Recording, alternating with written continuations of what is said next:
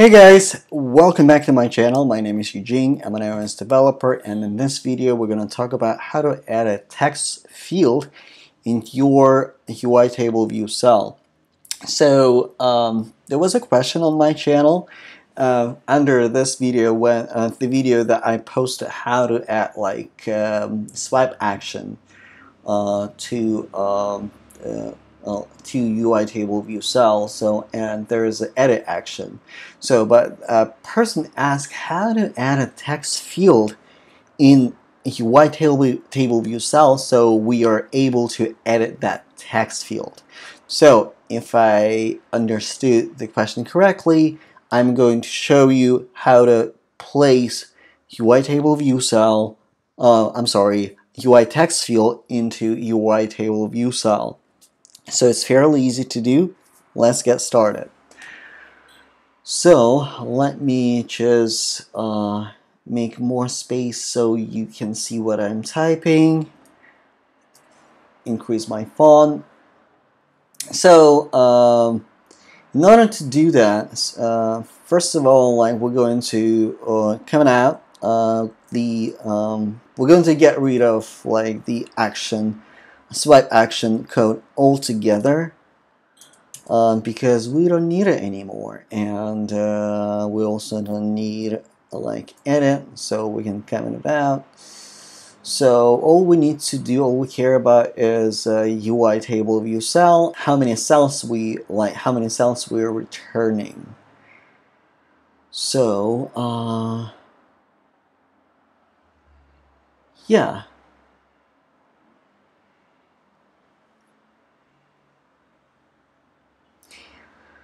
To create a custom um, uh, UI table view cell, you need to uh, create a, a, class. So let's do Cocoa Touch class UI table view cell text field uh, table view cell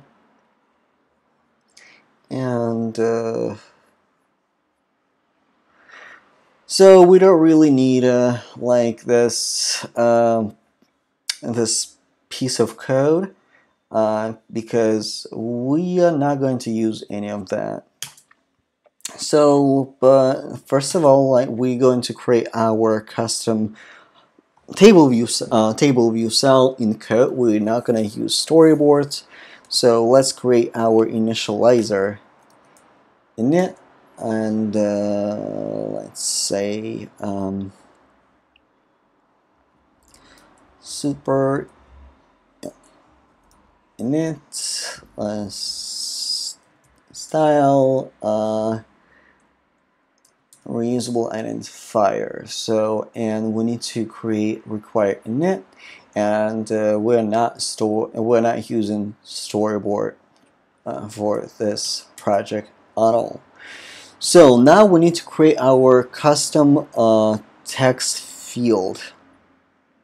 So the best way to create a custom component in UIKit is to create a class and subclass the component that you would like to modify. So for this tutorial, I'm going to create a subclass of uh, text field table view cell and that's going to be subclass of UI text field. Class uh, text field uh, and a subclass UI um, UI text field.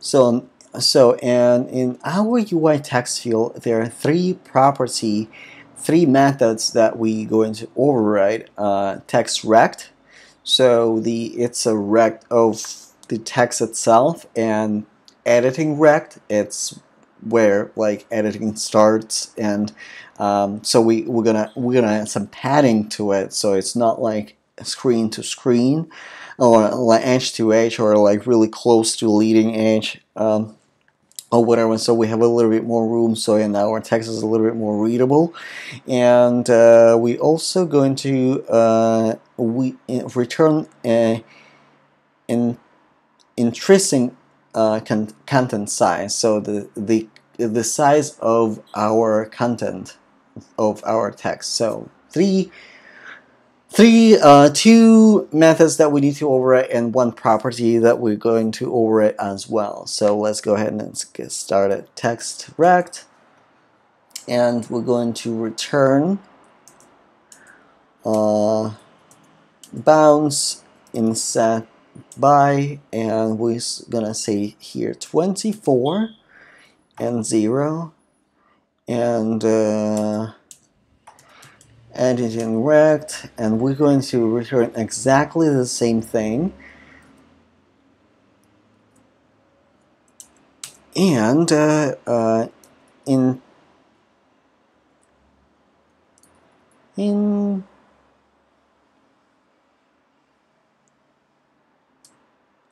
intrinsic content size uh, is going to be our computed property return the init and it's going to be width 0 and height uh, 44 so this is our text field. Uh, now we're going to create an instance of our text field uh, text field uh, text field uh, um, UI UI text field So we're going to create this closure where we're going to configure our text field. Uh, let text field equals text field uh, text uh, text field uh, tamic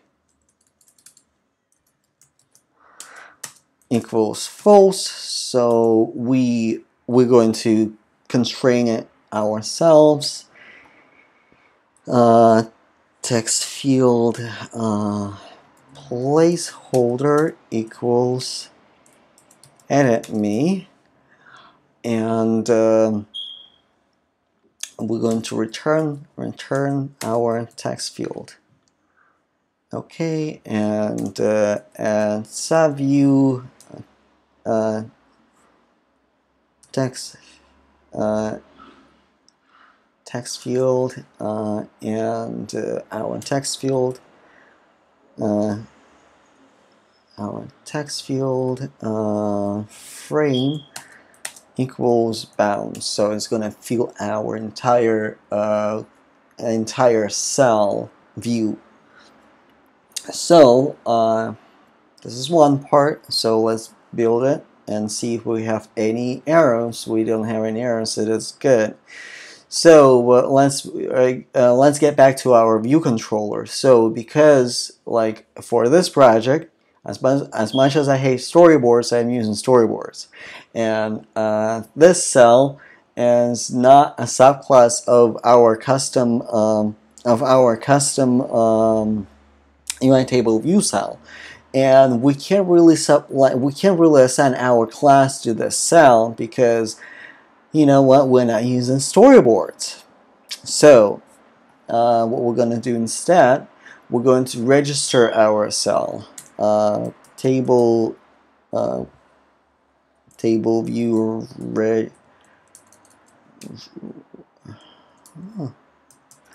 register um, text field cell self and an identifier is going to be uh, um, text. So it doesn't really matter what identifier you use here. And now we have to configure our cell. Uh, and uh,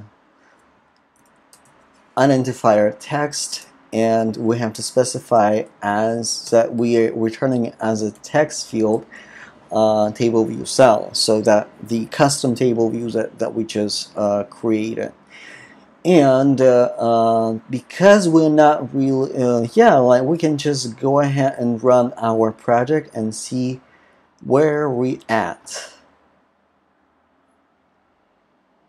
So and now we see our um, uh, test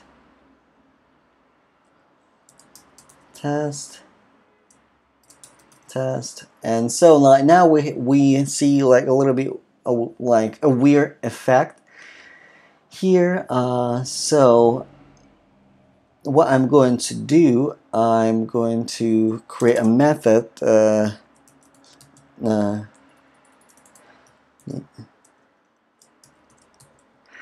the select row at and I'm going to say table view deselect row at index path and animator as uh, true. So uh,